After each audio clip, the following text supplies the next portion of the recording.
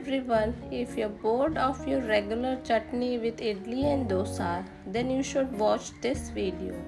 This is the new MTR garlic chutney powder.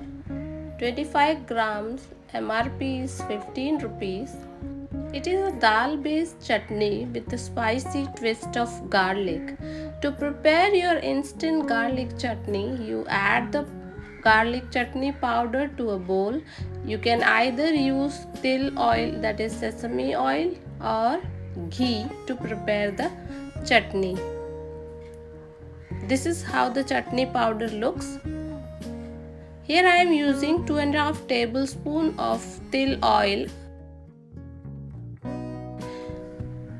Mix it well and here it is your instant spicy garlic chutney is ready.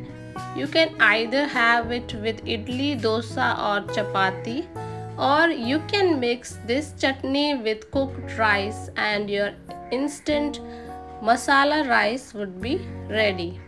So if you like this video, please give it a thumbs up and take a moment to subscribe to my channel. Thank you for watching.